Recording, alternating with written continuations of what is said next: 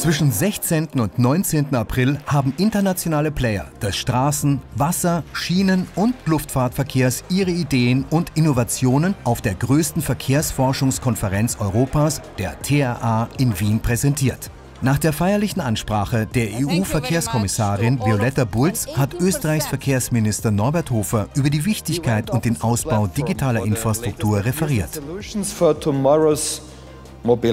Digitalisierung, Automatisierung und Vernetzung waren die zentralen Themen der insgesamt 650 wissenschaftlichen Präsentationen und Diskussionen. Und die Experten sind sich einig. Nutzerinnen müssen frühzeitig aktiv eingebunden werden und verstehen, wie effiziente Verkehrssysteme funktionieren. Mittelfristig wird die größte spürbare Veränderung sein, dass die Informationen, die zum Kunden und zur Kundin kommen, zielgerichteter sind.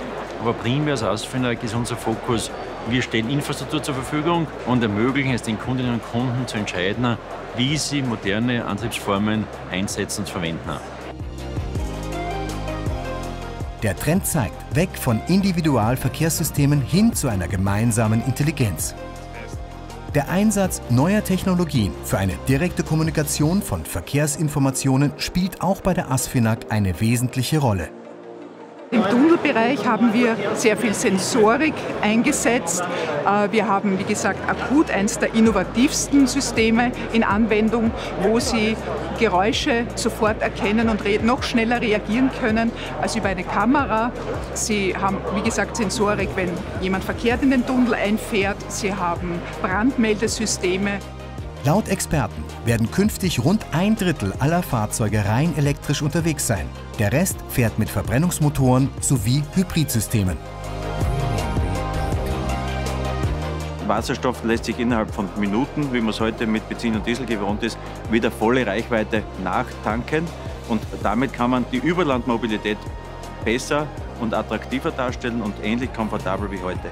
Im städtischen Bereich wird sich das batterieelektrische Fahrzeug aus unserer Sicht sicher durchsetzen.